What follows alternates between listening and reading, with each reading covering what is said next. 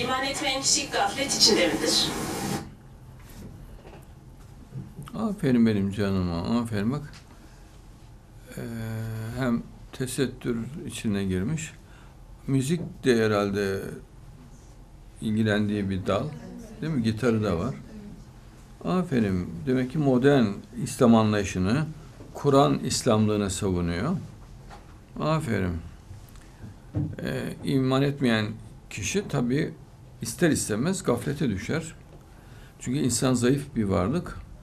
Kafası, aklı her türlü akıma, her türlü düşünceye, her türlü şeytanın veya nefsin açıklamasına, insanların açıklamalarına açıktır.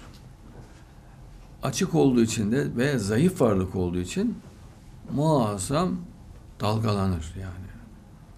Bir azap denizi içerisinde kalır eğer iman etmezse. Ama iman ederse neye iman etmiş oluyor? Mutlak gücün Allah'ta olduğuna ve her şeyi Allah'ın yarattığına. Konuşmayı, düşünceyi, her şeyi, kaderi.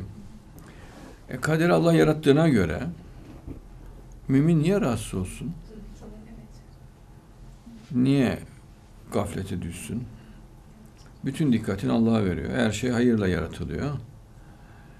Ee, küfür yenilmiş yaratılıyor. Münafıklar yenilmiş yaratılıyor. Ee, İslam muzaffer yaratılıyor. E o zaman huzur içinde ibadete devam. Gaflet din terk edildiğinde mecburen oluşur. Yani madde alan boşluk kabul etmez. Boşluk oldun mu orayı gaflet doldurur. Allah esirgesin. Kur'an'ın olmadığı bir yeri Kur'an'ın olmadığı bir beyni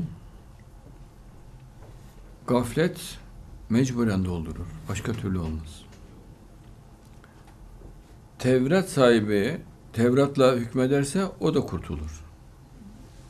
Ama Muhammedi olmak şartıyla Hazreti Muhammed yalan söyledi derse olmaz.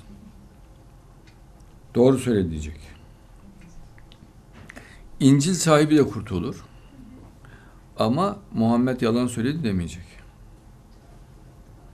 Yani üç din mensubu da kurtulur. Onun dışında gaflet kaçınılmaz. Allah esirgesin.